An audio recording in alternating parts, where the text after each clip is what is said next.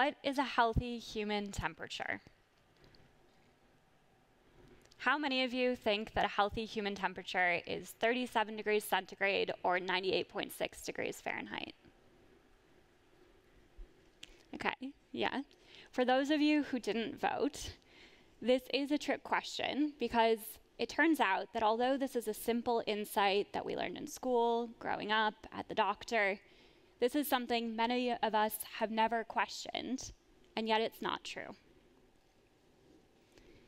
In fact, each person has their own healthy baseline, and there is a dynamic range of temperatures that are healthy. For example, you might have a healthy baseline of 98.6. My healthy baseline is 97.3. So by the time I go to the doctor with a temperature of 98.6, that could be a fever for me.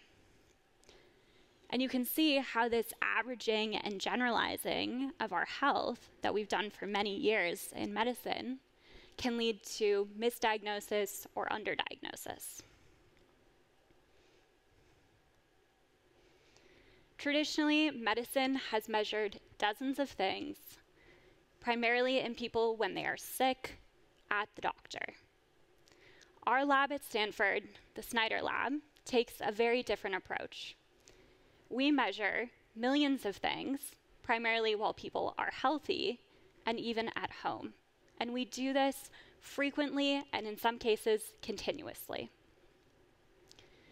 We measure social connections, genomes, and also functional indicators of health, like how you're using your DNA and transcribing it into RNA, which is called transcriptomics, proteins, metabolites, microbiome, epigenetics, and also the exposome, which is the collective exposures of diet, lifestyle, stress, toxins, and other, uh, for example, biological pathogens you're exposed to in your day to day life.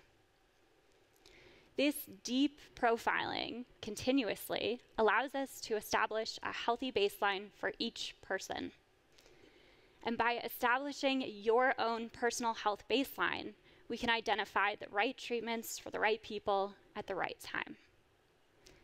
And the reason I said the right treatments instead of the right medicine is because precision health and healthy baseline profiling actually allow us to go beyond reactively treating disease to proactively preventing disease and proactively improving health and potentially even improving aging. So we did this strategy in 109 people over eight and a half years in the Snyder Lab. We identified 49 major actionable health discoveries. And these were across a range of different conditions, including prediabetes, diabetes, cardiovascular events, stroke, and even cancer.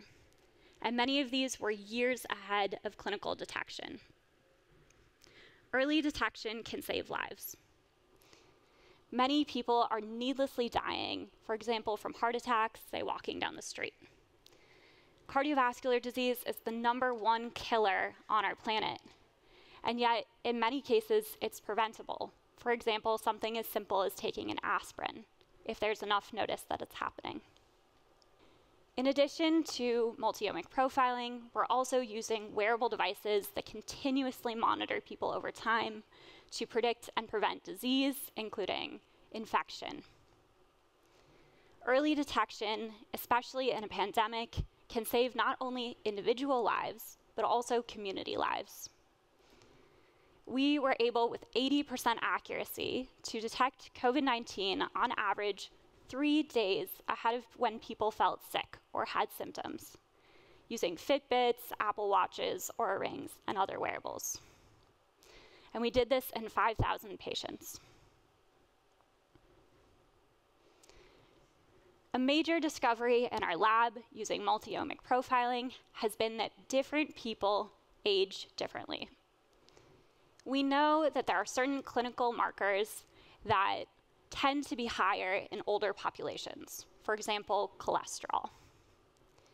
But again, we wanted to understand beyond the population level, on an individual level, how people are aging. Researchers in our lab tracked 43 healthy humans of varying ages for five years using deep multiomic profiling.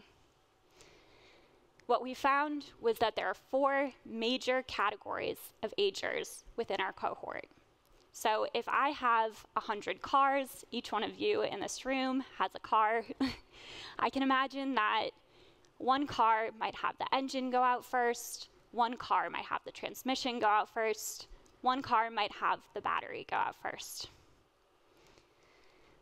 Just like cars, humans also have different organs and different systems that are aging at different rates. And this is also in part because we're using them differently. By understanding our own personalized aging profiles, we can again develop the right treatments for the right person at the right time to not only prevent aging, but potentially to even reverse it. This particular study was done over a two year period, which is important because that's an actionable period of time. And we actually saw that there were several people in our cohort who utilized lifestyle strategies like diet, weight loss, and exercise that had a slowed aging profile. As you can see, different people have different aging profiles, and that continues in terms of which specific molecules are most correlated with each person's aging. So on the left, person one has two different molecules here that are correlated with aging. This person's a metabolic kidney and liver ager. And on the right, person two was categorized as a cardiovascular ager. When we think about aging and longevity and health, we can measure the body all day, but the mind is also as important as the body. In fact, observational research shows us that social relationships are the number one predictor of longevity after midlife. In fact, depression and stress are known to accelerate epigenetic aging, and serious childhood adversity and trauma reduce life expectancy by 20 years. How does this happen? Well, one way that it happens is that our thoughts actually change the way that we use our DNA. Our thoughts and our beliefs actually drive physiological changes. So, for example, if I have an environment like I'm standing with my boss in his office and I believe, you know, he asks me, How are you doing? I can think, My boss wants to help. So that's in the green here. So that would be a non threat belief.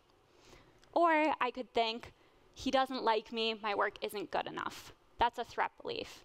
And this activates a whole downstream fight or flight pathway that can be activated by social threat and our repeated belief about the situation. So, again, it's just by what I'm thinking that can actually change gene expression in, for example, immune cells and drive inflammatory processes. Given the importance of mental health and psychosocial factors in aging, our lab wanted to understand how we can improve mental fitness and how this relates to aging and metabolism. Currently, we're in a mental health crisis. One in five Americans are suffering with mental health. The treatments are not working well, if you read the news, you can see that every headline is talking about how, you know, for example, the serotonin hypothesis is not what we thought, and only 30% of people are getting better from antidepressant drugs. In addition, many people are unable to access therapy. Even 96% of Wyoming is said to live in a healthcare shortage area. For this reason, our lab wanted to understand what are highly scalable mental fitness practices that can improve psychosocial outcomes and potentially even aging. We evaluated two immersive programs. Our results were astounding we saw, so here in the gray uh, are traditional therapies, and you can see that they are associated with a 65% or less reduction in depression score across the literature. Our results in the red showed an 82 to 86% reduction in depression scores.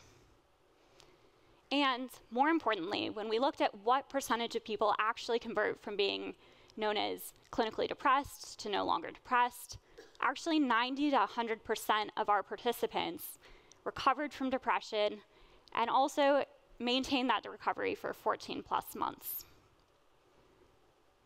And this is two to three times better than the standard of care. It's also twice as powerful as psychedelic assisted psychotherapy, which currently has uh, FDA uh, breakthrough classification for major depressive disorder. More importantly, we also saw that positive psychosocial outcomes improved, including relationships, meaning, hope, life satisfaction, and well being. And the next step on this is asking do these programs that improve psychosocial well being and improve mental health do they also improve aging as well as personalized aging profiles? And even can they reverse biological aging? Medicine of the past has been focused on illness, it's been reactive, measuring few things, infrequent, and it characterizes us on a population basis. Medicine of the future, precision health, is proactive, focused on well being, measures many things, and is individual based. We all want to live happy, healthy, and connected lives. Every single human being on the planet wants to experience good health care. By combining multiomic longitudinal profiling, mental fitness, and personalized aging patterns, we can understand individuals' aging and their individuals' health, and we can identify the right treatments for the right people at the right time to improve well being. Thank you.